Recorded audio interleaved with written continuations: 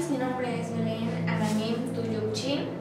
y tengo 24 años, soy de Mérida, Yucatán y me encuentro en el examen práctico para formar parte de la plantilla de docentes en Mérida Music Center.